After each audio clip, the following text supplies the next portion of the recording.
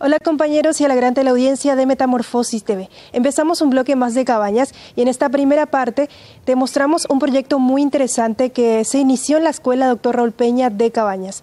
Hablamos del Banco de Alimentos. Conversamos con la proyectista, la coordinadora del tercer ciclo, la profesora Carmen López, que nos da más detalles.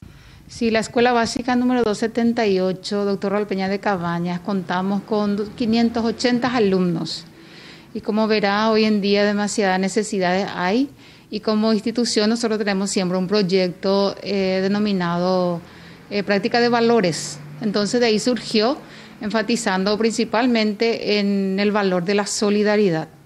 Entonces como veíamos ya necesidad después de recibir los kits de la municipalidad que tuvimos eh, que cubrir también, eh, de ahí eh, estamos desarrollando ese proyecto institucional que es la práctica de los valores, denominando entonces nuestro proyecto Banco de Alimentos, recibiendo alimentos no perecederos y luego nosotros estamos empaquetando y viendo de acuerdo a la necesidad de cada grado de vuelta, depurando nuestra lista y a los más vulnerables por el momento. Primeramente nuestros alumnos y luego ir saliendo en la comunidad otra familia. Así mismo. ¿Para cuántos alumnos prácticamente estuvieron preparando los kits? Y la vez pasada entregamos como 25, 30 kits cubriendo ya el nivel inicial, que son los más pequeñitos, esperando de vuelta al tercer ciclo a quienes no le alcanzó luego. Y ahora vamos a tratar de cubrir con el primero y segundo ciclo. Y estaríamos completando de vuelta total 200. ¿Son ustedes mismos los que preparan los kits? ¿Reciben alguna ayuda? Nosotros mismos, por el momento, más bien el plantel está cubriendo. Vemos que falta y nos juntamos de vuelta y completamos.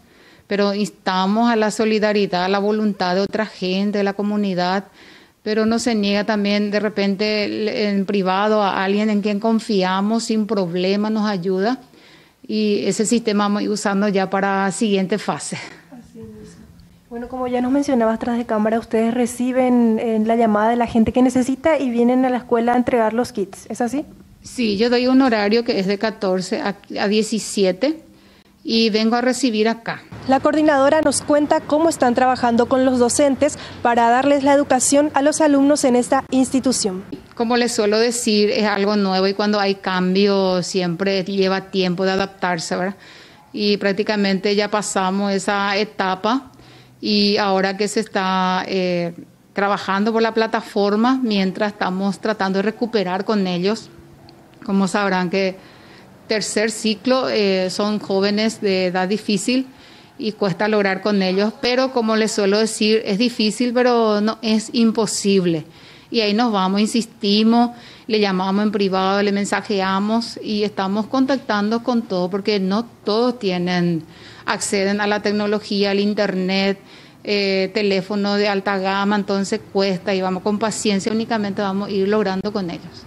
Hacemos la invitación, la gente que quiera hacer alguna ayuda puede acercarse a la Escuela Doctor Raúl Peña de Cabañas o comunicarse a los números que están en pantalla. En la unidad de salud familiar de esta comunidad se siguen realizando las atenciones con todos los cuidados sanitarios que corresponden. La licenciada Belén nos comenta más detalles. Y estamos recibiendo personas con problemas respiratorios.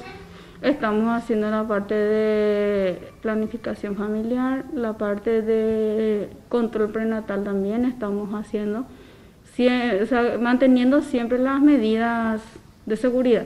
Nosotros estamos haciendo las vacunaciones para los adultos eh, los días lunes, miércoles y viernes y los niños martes y jueves. Y estamos haciendo lo posible para poder alcanzar a toda la población, que todos tengan sus medicamentos. Invitamos a toda la comunidad a que se acerque a la unidad de salud familiar para que puedan realizarse las vacunas contra la influenza, que son para niños y adultos. Esta semana el Ejecutivo Municipal lanzó una resolución que prohíbe la introducción de plantas del exterior para así resguardar la salud de la ciudadanía. La ingeniera y productora Nancy Montiel nos da su opinión sobre esta resolución. Desde mi punto de vista, ahora está bien la prohibición de que ingresen las plantas hasta un lazo que termine esto y después para que se reactive, ya que la comunidad es grande, pero no va a abastecer completamente. Todavía no desarrollamos la capacidad de producir a grandes escalas. Así que necesitamos el apoyo para variar las plantas. Y de esta forma invitamos a la comunidad y alrededores a que apoye la producción local. En Cabañas tenemos las más hermosas flores, las mejores plantas, así que ya pueden acercarse. Tenemos muy buenas ofertas que van a encontrar en la comunidad de Cabañas. Más cerramos un bloque más de Metamorfosis Cabañas, agradeciendo como siempre a los auspiciantes que apoyan este bloque. Muchas gracias a Rectificaciones Figueredo. Vivero El Mango, que te ofrece plantas forestales, ornamentales y medicinales. Gracias al concejal Emilio Ortega por el apoyo de siempre. Somiers Super Descanso te ofrece todo para amoblar tu sala. Así también agradecemos a Susana Benítez por el peinado de siempre. Volvemos el próximo sábado con muchas más informaciones y todo lo que va aconteciendo en la comunidad de las Flores Cabañas.